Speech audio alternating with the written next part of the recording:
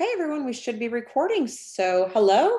Uh, just wanted to take a few minutes of your time today uh, and tell you about something that I've been working on for all of you guys as my as leaders in our organization. So, I asked a few weeks ago about what are some things that maybe would help you um, become a better leader, or that you wanted to learn, or that you struggle with, or concerns that you have uh, in in your role as a leader and the answers were uh, they varied greatly and i appreciate all of the time that you took to answer that question. So what i'm going to do is i'm going to be sprinkling some information along here and there um, in this group page uh, so that you guys can always come back and look at some things. So being a leader isn't always easy guys. It's not and that's the truth of the matter. Uh, a couple of things i want to i want to say right away right off the bat is remember this you do not have to be perfect to be powerful.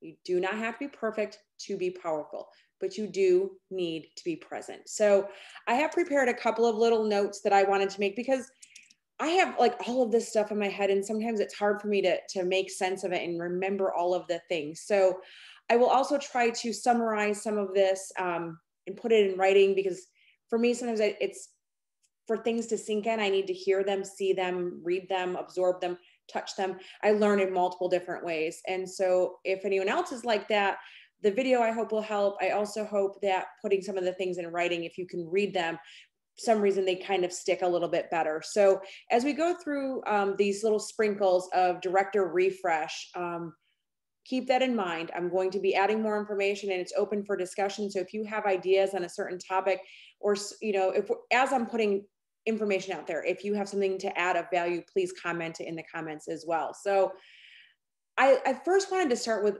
what is leadership? And so I looked up what the definition was. And, and leadership is the act of guiding a team or individuals to achieve a certain goal through direction and motivation. Leaders encourage others to take actions they need to succeed or to be successful. To be a great leader, it is necessary to learn and cultivate the skills it takes to become an effective leader.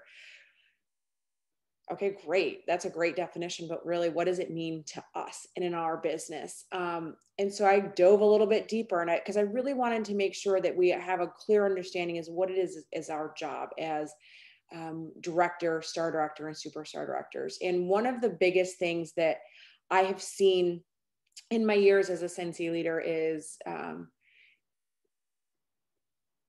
well, I'm just going to say it power trips, micromanaging, the boss mentality. Okay. I apologize for that.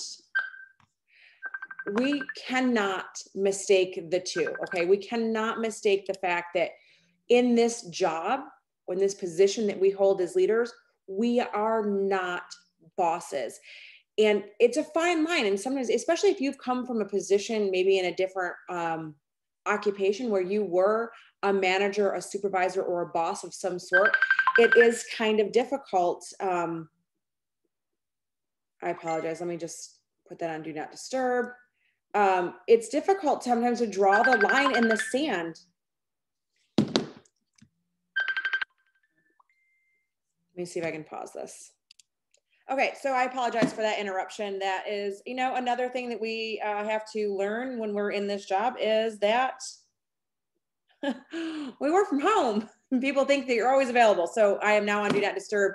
So I apologize. Let me try to get back on track. Okay. So micromanaging, being a boss, a, a supervisor, in other positions, it's sometimes hard to draw the line in the sand. Okay. So am I in my role as a leader? What is my job? Do I tell them people what to do? How do I how do I tell the difference between a supervisor's position and a leadership position? And I'm hoping that as we go through this little this process that we can really um, figure that out. So one of the things that I I find that's really important is micromanaging, right? How do we how do we not micromanage but yet give instruction or tips and advice and things that people can do?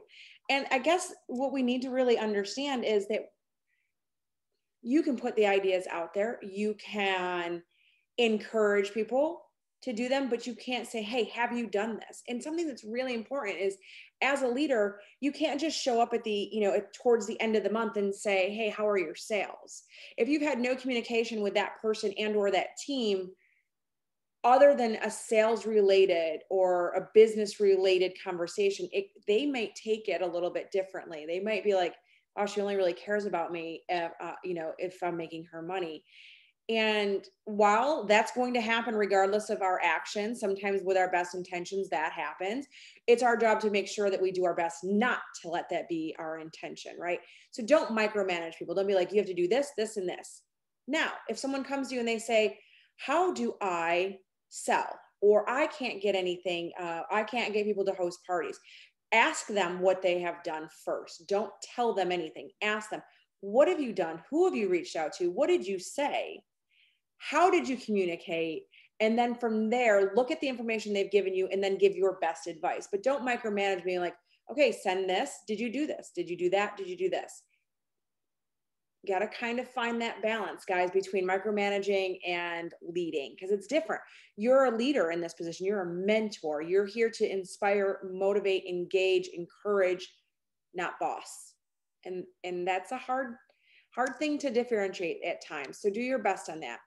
Um, as leaders, always and with a Scentsy culture, we want to be kind and we want to be gracious. Now, there are days, I'm sure all of us can admit, things are a little difficult or we are dealing sometimes it feels like we've got product that sells out or we've and we've got a downline that's being difficult and we've got a customer who's unhappy and it always seems to have that trickle effect it is okay and i give you permission to step back sometimes and just be like you know what today I need a mental health day. I'm going to take a step back because I may not be in the right frame of mind to be kind, courteous, and gracious today. Also, remember this is your business, and word of mouth will and can, it will, it will definitely travel quickly from customers and teammates. So, if you're in that place where maybe you're not in the best um, state of mind to be all of those things as a leader and you might say something that you don't want to don't react right away it's okay if you've got a, a heated downline situation going on to say to yourself or to them hey i'll be back to you um, tomorrow. I'm not available today. They don't need to know that you need to sit on it. You can tell them if you want to be honest. There have been plenty of times where consultants come to me and say how do i handle this? And i'll be like i need to think about this because you don't want to just react. A lot of people and i'm guilty of it in life you know you react you react out of feeling. And if you're feeling uh in this situation as leader is anger or angst or any of those negative feelings you want to step back because you want to be the best leader possible. And if you need to time time to digest that and absorb it so that you can handle it the best way possible then do that. Just remember you are a mentor. You want people to model what you're doing. So you're leading from the front and everything you do from sales, recruiting, training, how you react to your team, how you treat your team, how you treat your customers. That's why it's important that if time is needed for you to absorb and digest a certain situation, that you do it. Um, and I know that that can be hard sometimes, but it is important to kind of keep that, keep it in mind again, we're trying to grow more leaders. We're trying to grow our business and grow our team. So if we're not leading from the front, if we're setting examples that are like, oh, you only show up when um, at the end of the month, you only show up when things are easy or things are, you know, business is booming. That's the example as a leader that you're setting. You want to be a consistent leader all of the time all of the time you want to be consistent. So that means when things are hard, and I'll give an example. Let's say we have product that has sold out in minutes and people are upset that they didn't get their product. How you react to that situation should be almost identical to the same that you're going to react when everybody is happy and everybody got the best sales ever and everybody got the product that they wanted some people call it you know being overly positive. Well as a leader what good is it going to do if you're like i can't believe i didn't get this product. This is ridiculous. What is Scentsy thinking? Why didn't they do this? Why didn't they do that? Why didn't they what what what good does that do for you or your team or your business or your customers or for anybody for that matter? It does nothing. I'm not seeing i'm not saying be so positive that it's nauseating but it is our job. I believe full heartedly, it is our job to show up in a positive way all of the time. There is always a positive to every negative situation in our lives. We may not always be able to see it right away, but if you look hard enough, it is there. And when it comes to product that sells out quickly, for example, well, I mean, that one's easy for me. Holy crap, we have product that people want that badly. And it's not every superstar director is hoarding product. That is not the case, you guys. There are, that's just not. And you cannot fall into that trap and you can't let your team fall into that trap. So you have to find a way to show them, to open their eyes so that they begin to grow and think more like a leader and a business owner of, yeah, we have product that sells and it stinks that we didn't get the product we want, but there's a hundred other products that you can sell. One product sells out or one launch, one line sells out, like maybe a, a special Easter or Mother's Day collection or bundle. Okay, we got lots of other stuff we can sell you guys and let's focus on that not on what we didn't get. And i mean if you're a parent you probably already do that with your children as well. So it kind of rolls over into this. You also want to make sure that when you're leading your team i mentioned this earlier you want to be consistent. You want to stay in the game. Every month our numbers reset. Every month regardless of our title we're a certified consultant. We're at zero baby. We got to start all over. What are you going to do are you going to wait until the 20th day, the 25th day, and then start showing up for your customers and your team? People watch that, people notice that. They know if you're only posting two or three times a month and it's always the same thing at the end of the month. Like oh i have a sales goal. Who wants to help me? Or you know something along those lines. Stay engaged. Stay in the game. If you work a full-time job outside of Scentsy and you have children that are busy I get it. When I started, I did, I had a very busy schedule.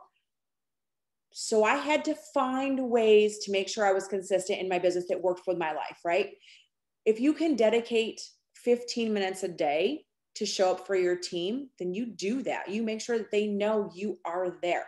You also want to make sure you they know that you're out there and you're what ideas are you doing? How are you engaging with your customers? Are you doing follow up? How did you get at your new recruit? Where did you get your new recruit? How are you showing up? You can let your team know that. And I don't mean you just have to tell them the information, let them see it. Let them see it in your social media stories. Let them see it in your team page. Let them see it when you're on, when you do a Zoom or a training call that, hey, this week I did this and it worked, or I did this and it didn't work. So I'm going to tweak it and I'm going to try this. They are looking to you to be inspired and to be motivated and to know that you're there. I've seen far too many leaders in this business make it to a certain spot and they kind of were like, well, I'm here. I don't need to go any further. And they stall. Well, when they do that, so does their team every single time, guaranteed. Unless there's that one person down here that's like, well, I'm not ready to stop. And they take, but the rest of the team stays down here. You guys want to make sure that you're up here and you're bringing your team with you as much as possible. Again, we can't make them do anything, but we can make sure that we're setting the best example possible again, like our kids, we teach them, we raise them, we hope that we instill all of the right things in them. But at the end of the day, they are their own person and they will do what they're going to do. The same with your team. But if you want to set up for some sort of failure, don't show up for your team. That's one way to get there. Um, you know, we've talked a lot about the being consistent and showing up for your team your team is important, you guys. We are a, when we start out, when all of us buy our starter kits, we're a team of one. You cannot advance past the rank of a certified consultant without a team. Remember that. You are where you are because your team helped you get there. Now help them get there and help them teach their teams how to, to build everybody up and pull everybody up with you. Don't leave anybody behind. Make sure your team knows that you value them you um, you're grateful and blessed and honored to be the leader of that team they have to know they're valued you guys. It's very important. They need to know that um, you are there for them. You care about their business um, and you really want to you really are invested in helping them. Now if they choose not to that's on them. That's not on you. But as long as you've done your job as a great leader and a great mentor you have nothing to worry about. Um, so I want to just close this this segment up with being in a leadership position. mm, it can be overwhelming. I I mean it happens to all of us, but don't let it stop you. Don't let it trap you. Maybe take a step back once in a while, like I mentioned in the very beginning of this, and refocus. Take a day to think about things. Let me back up for one more second because this just came to me. Comparison. Don't. It's hard. I know. I look at a lot of other women, a lot of other leaders, moms, wives, all of the things. And it's easy to fall into, I wish I was more like her. I wish I did this. I wish I could do that better. Be the best version of you that you can be. If you're doing all of the things properly, meaning you're showing up, you're consistent, you're engaged, it doesn't have to look like how I do it or like any of the other leaders that you follow in Scentsy do it. As long as you're doing it and doing it for you, the best that you can do, you will be fine. And it's easy to get overwhelmed. Ask for help. None of us know everything. I've been doing this for 13 years. I still ask for help, and I don't care if it's a certified consultant. That makes no difference to me. If a person has a great idea or is helpful, I don't care what rank or how long they've been in this business. They still have value to add to my life, to my business, and I respect their their help and their opinions. So don't think that if you're a director, you can't reach in your downline and ask for help because you certainly can. Maybe somebody's super great at Excel. I'm not. I'm not afraid to admit it. I'm not afraid to ask for help. And I'm not afraid to ever admit my mistakes because I am human. And as a leader, you want your team to know you don't know it all, but you'll do your best to find out the answer. You'll do your best to be there. You'll do your best to learn and grow so that you can help them learn and grow. And that's really all that we can ever ask for. And I started off when I said this in the very beginning of the call, I'm going to end with it. You do not have to be perfect to be powerful, you guys, but you do have to show up. So this was video one in our new um, leadership refresh. I hope it was helpful for you. Stay tuned for more things to come down, um, sprinkle in, trickle in a little bit. I hope that um, I hear from you guys. If you have any questions or comments or ideas of how to deal with maybe a difficult downline or a difficult customer, put it in the chat below because again, this is how we become better is by learning from each other. So have a great day. We'll chat soon, everyone. Bye bye.